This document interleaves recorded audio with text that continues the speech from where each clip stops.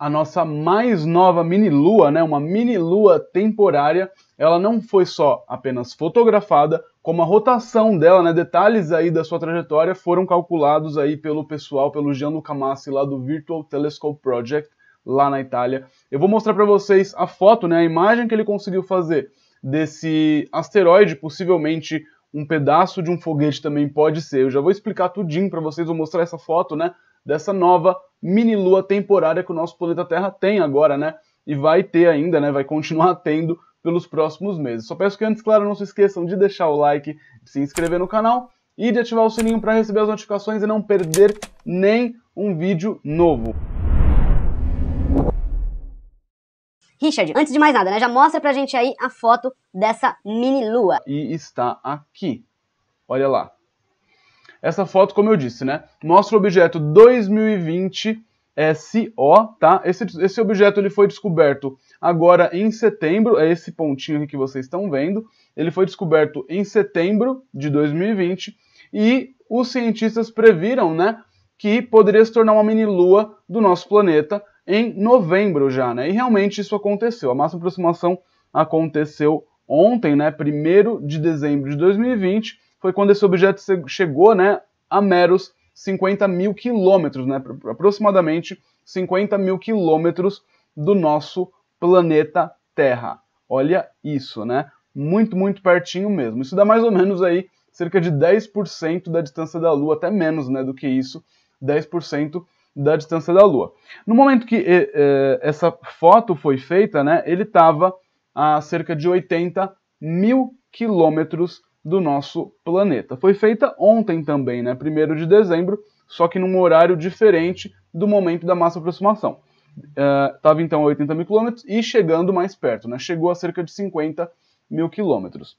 Uh, aqui a gente consegue ver, ó, antes, né, antes de mudar de imagem, esse aqui é o objeto 2020 SO, que eu já vou explicar para vocês também que pode não ser um asteroide, na verdade pode ser aí um pedaço de um foguete, tá?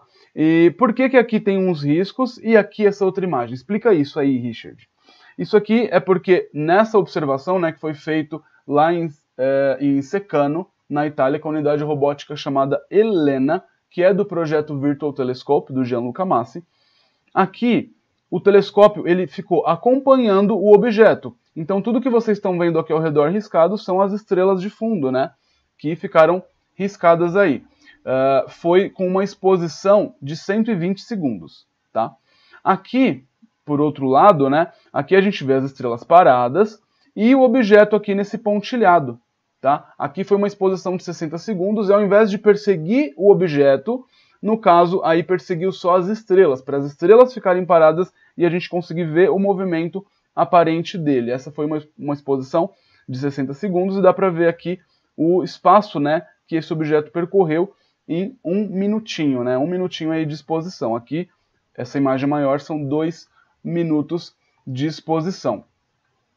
E, Richard, é verdade que descobriram né, a rotação desse objeto? Sim, conseguiram descobrir a rotação desse objeto, que é de cerca de 10 segundos, acreditem, né? Cerca de 10 segundos apenas, né? O que, que isso significa? Que pode não ser, né? A rotação ela também está corroborando para aquela teoria de que isso, na verdade, não é um asteroide, tá? Essa uh, mini-lua temporária da Terra, ela pode, na verdade, ser um pedaço de um foguete de uma missão chamada, deixa eu, eu anotei aqui para não esquecer, uma missão chamada Surveyor 2, Surveyor 2, né?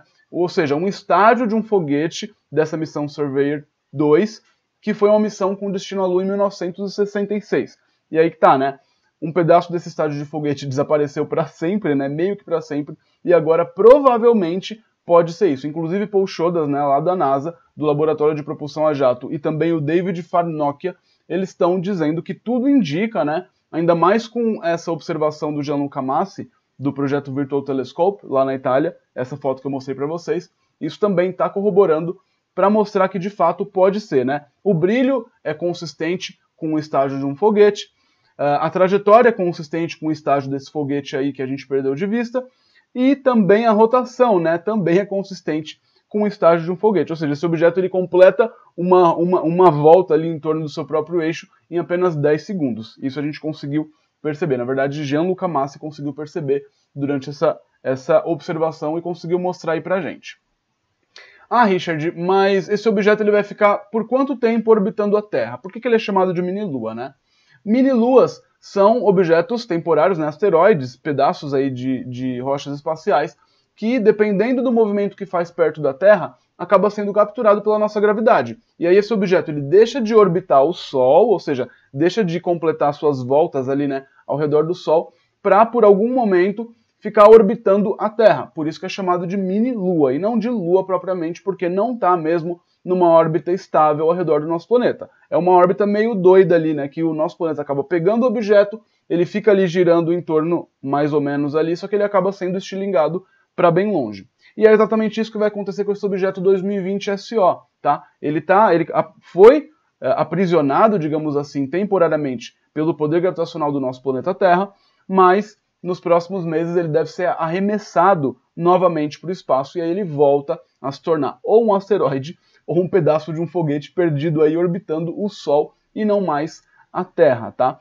Eu vou mostrar para vocês agora essa animaçãozinha para vocês terem uma ideia o que, que acontece. Ó.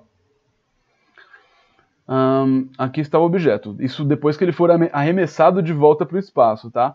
Aqui, ó, é quando ele foi descoberto, tá? Aqui está a Terra, aqui está a Lua girando em torno da Terra, ó. Isso foi a máxima aproximação de ontem, 1 de dezembro. Aqui ele vai fazer uma outra máxima aproximação em 21 de fevereiro, agora de 2021 já, nos próximos meses. E aí depois, provavelmente, né, tudo indica que ele vai ser lançado de volta aí para o espaço, tá? E vai deixar de ser uma mini lua da Terra. Como eu disse para vocês, né, mini luas são normais, isso acontece de tempos em tempos. Teve uma aí recentemente, agora a gente tem mais uma mini lua. Deixa eu só fechar aqui porque eu acho que está travando.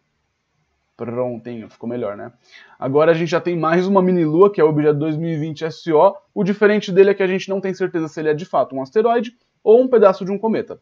De um cometa, perdão, de um foguete, tá? Um estágio ali de um foguete. Tudo indica aí, né? Tá corroborando para que seja de fato um estágio de um foguete. Mas os próximos capítulos dirão, né? O que de fato é esse objeto. Você tem alguma sugestão aí? Não esquece de deixar aqui nos comentários, assim a gente bate aquele papo gostoso aqui, tá certo?